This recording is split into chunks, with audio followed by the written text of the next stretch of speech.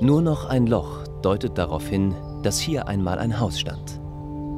Das Haus, in dem bis zum 28. Februar 2013 Jeffrey Bush lebte, zusammen mit seiner Tante, seinem Bruder und dessen Partnerin.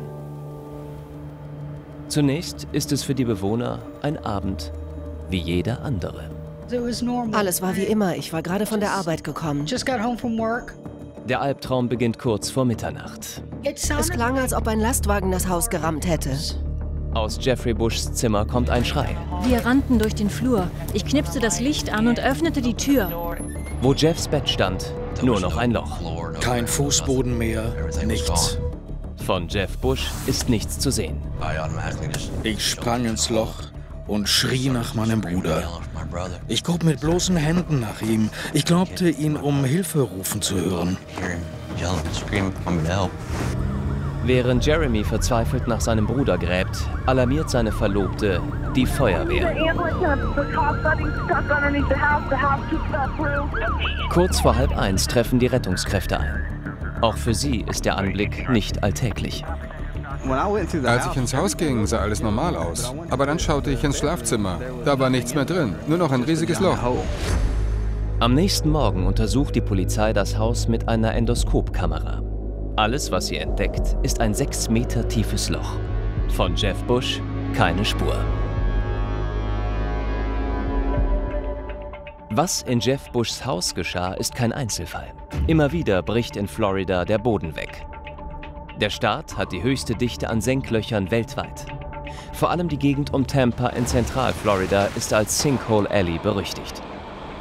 Statistisch werden hier pro Tag drei bis vier neue Senklöcher gemeldet.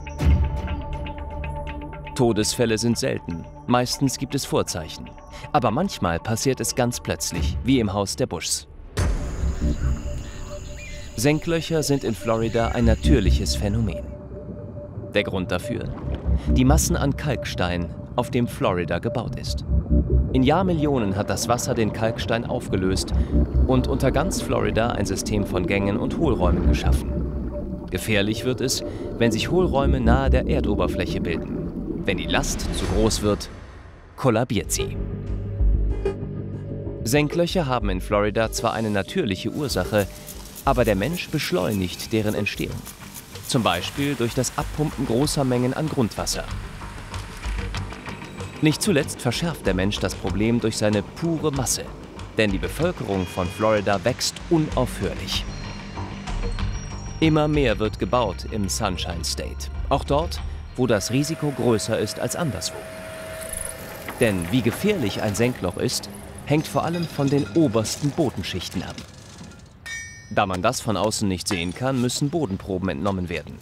Sie sollen ermitteln, ob es sich um einen sandigen Boden handelt, wie hier, oder um einen lehmhaltigen. Die Lehmböden sind die bei weitem gefährlicheren. Denn bei sandigen Böden rutschen die obersten Schichten nur langsam in den Hohlraum weiter unten. Es entsteht meist eine Kuhle. Anders ist es bei Böden, die vor allem aus Lehm bestehen. Hier hält die oberste Schicht zunächst, um dann irgendwann plötzlich zu kollabieren. Auch das Haus der Buschs befand sich auf gefährlichem Lehmboden. Deshalb gab es keinerlei Warnzeichen. Wenige Tage nach dem Unglück wird das Haus der Buschs abgerissen. Die Leiche von Jeff Bush wird nie gefunden.